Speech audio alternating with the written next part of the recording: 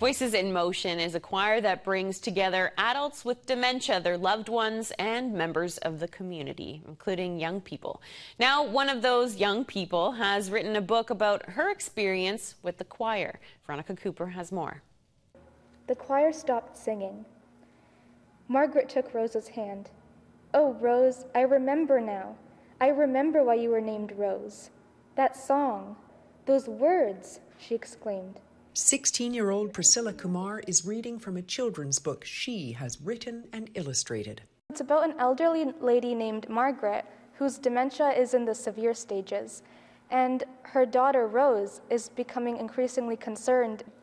So she decides to bring her to a community choir, which is just like Voices in Motion. Voices in Motion was started as a research project in 2018. I wanted to make one a choir that was intergenerational because I've seen how important it is to bring together younger people with older adults. Both groups benefit. It helps reduce the stigma of aging, and particularly there's a lot of stigma associated with dementia. Priscilla joined the choir through her school. I was really nervous because I had never met someone with dementia before and I didn't know anything about it. So I was worried that I would say something offensive or I would hurt somebody's feelings. The impact on kids was, was just astounding. They learned how to communicate with older adults. The older adults loved the energy of the high school students.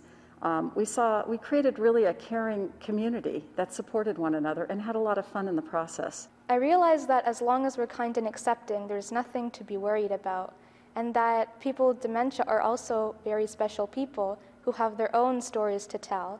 The book began as a grade 10 capstone project.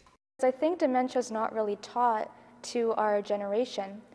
So I wanted to make a project that's accessible to people of all ages. In the middle of rehearsal, I thought it would be really great if Priscilla read this to everybody.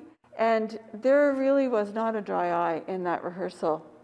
Everybody, whether they were a student or whether they were um, a caregiver or somebody with memory loss, they really uh, related to it. Priscilla is donating all proceeds from I Remember to Voices in Motion. I hope that by buying this book, people will know that they're helping a good cause and that this choir helps so many people. We're just so grateful to Priscilla. She's done an amazing job with this.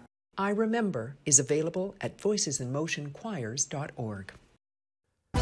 Vital People, brought to you by the Victoria Foundation, connecting people who care with causes that matter.